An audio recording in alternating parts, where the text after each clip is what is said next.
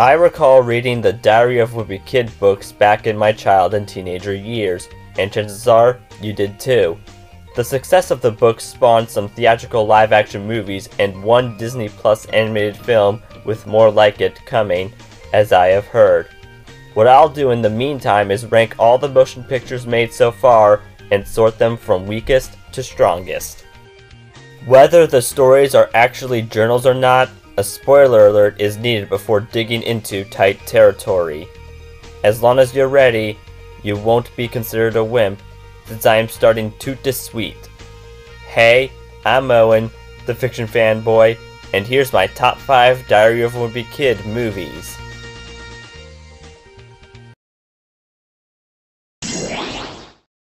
Diary of a Wimpy Kid, The Long Haul. Susan plans on having a road trip to celebrate her grandma's 90th birthday as a way for family quality bonding, yet everyone else in the family had other plans and complications. Greg wants to get rid of his diaper hand status by attending the Player Expo. Frank has his work calls. Manny loves his piglet he won at a contest.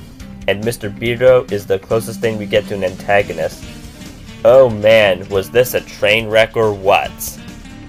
I wish the new cast was the only problem within the film.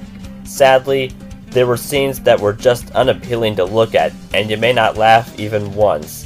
The sole redeeming quality here is the importance of having time with your family. Then again, I tell you to see the ending on YouTube, and that's it. If I wanted a marathon of disasters, I'd rather watch Alexander and the Terrible, Horrible, No Good, Very Bad Day. Diary of a Wimpy Kid 2010 Middle school has started for Greg as he seeks fame, in both school and the future. A moldy slice of cheese is discovered, and whomever sets fingers on it gains the cheese touch, a virus making you an outcast. Life in the grade was tough in classes, lunch, clubs, and friend Rowley ended up getting popular after Greg had got his arm broken in an accident because of a game. While not necessarily an inadequate story, the main gripe here is Greg isn't really so likable, and even Rowley would agree with that as he even said Greg was a bad friend. Also, the other characters aren't really any better, and contrary to the other installments in the live action franchise, no big bond can be seen, and Greg doesn't make things right with Rowley until the last act. It was an alright thing to sit through, but I have seen a fair amount of far superior book-based flicks. Diary of a Wimpy Kid 2021 This may feel like a reboot of the original live-action movie, though that doesn't exactly make it deja vu, as there are plenty of changes in the animated retelling to make it distinct. The cheese touches there, Greg urges Rowley to act more mature and less childish, and you already know about the injury which made it feel like destiny and how Rowley has received even more recognition than Greg. Unlike the previous entry, Greg actually had some concern for the wound, yet also dissimilar to the first film, with not even a one hour time frame to work with, there isn't enough of the characters, having very little room for world building. Think of the difficulty in translating a Dr. Seuss tale to Hollywood, except it's the opposite. I wouldn't blame you if you interchanged this movie with the other one, depending on what sacrifices you're cool with making. At least the top two spots don't have as many flaws. Diary of a Wimpy Kid, Dog Days. Summer has begun, and instead of spending his whole vacation gaming, Greg has to do what his parents had in mind, like Susan having started a Reading is Fun club, and if this seems like a slog, that's nothing compared to Frank's idea of chilling out as both fishing and Civil War reenacting didn't work out. When invited to the local country club, Greg fibbed about getting a job there so he can have the delights he desires.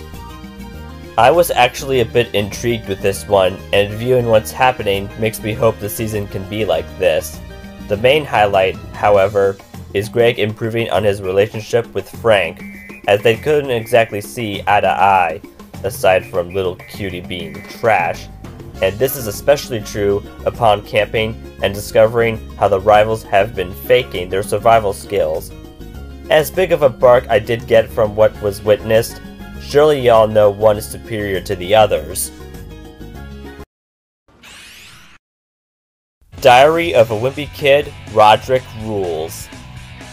It's a bothersome brotherhood going on between Greg and Rodrick as they are getting on each other's nerves, and this was definitely hard for Susan as she's a writer for the newspaper who has articles about the two people becoming men.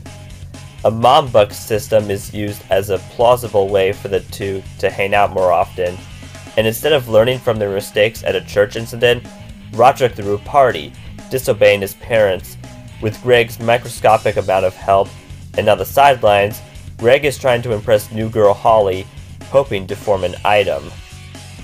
My expectations weren't so high, and although I wouldn't call this a classic or anything, it actually did justice to the predecessor.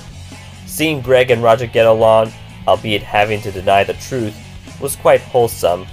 When the beans were eventually spilled, having them return to their ways of rivalry wasn't so sweet, Yet Greg willing to be in Rowley's magic performance so Roger could play with his band was. Yeah, the dancing mama cracked me up just as much as the crowd. In terms of recommendations, don't care that much as long as you avoid the dreaded final live action movie, as the others were actually satisfactory. Want the fiction to spread? Then please like, subscribe, share, and turn on notifications. Don't forget to also comment below and follow me on Instagram for teasers and thumbnail previews of future YouTube videos. Thanks for watching, look forward to seeing you again, and have a good night-o!